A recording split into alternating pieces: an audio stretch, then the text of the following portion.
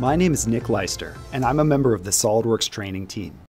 In this video, I will show you how the 3D Experience platform integrates with SOLIDWORKS to organize and store data, view designs, and open applications such as SOLIDWORKS. This video documents the platform setup featured in the multi-video series Beginner's Guide to SOLIDWORKS. Let's get started. I'll start by logging in to the 3D Experience platform. When you log in for the first time, a Welcome Tour pop-up appears, which I will close. There are many ways to work in the 3D Experience platform, but dashboards offer the ideal solution for SOLIDWORKS users. The top of the page indicates my current dashboard, which came pre-configured with the tabs shown here. The three lines at the top provide access to the dashboard list, where I can switch between existing dashboards or create new ones. I'll keep my current dashboard selected and click Close. The Welcome tab contains all the information necessary for a new user to get started, organized into three columns and curated for you based on your roles. The first column allows you to open and install apps. The second column contains videos to help you get started. And the third column provides access to public user communities. The Content tab allows you to access apps to view, store, and organize your data. The 3D Experience platform allows you to store data in the cloud through an internet-connected database.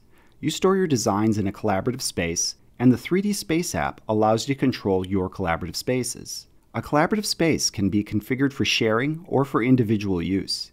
Here, I have access to four collaborative spaces.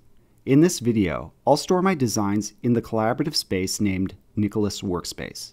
Bookmarks provide a method for organizing your data within a collaborative space and operate in a way that's similar to a folder structure. Here, I have a bookmark that I created earlier. I'll expand Power Tools and click Jigsaw, which displays a jig design.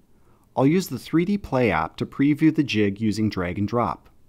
From here, I can manipulate the model's view, and when I'm done, I'll click Close.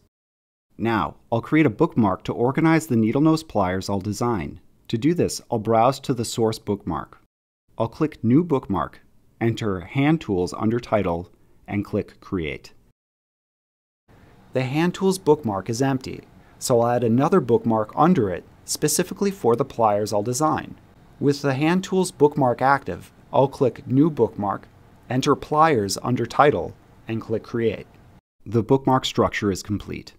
The Task tab contains the Collaborative Task app, a Kanban style board that integrates with the 3D Experience platform's project management apps.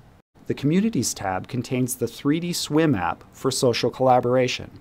I'm ready to start designing in SOLIDWORKS, so I'll browse to the Welcome tab and click Open under Design with SOLIDWORKS to launch a 3D Experience enabled instance of SOLIDWORKS. Thank you for watching this video. If you found this content helpful, watch the video Beginner's Guide to SOLIDWORKS, your first part to learn how to model a pair of needle nose pliers with SOLIDWORKS and visit the site below to access the 3D Experience Platform user playlist to discover how to configure the 3D Experience platform further.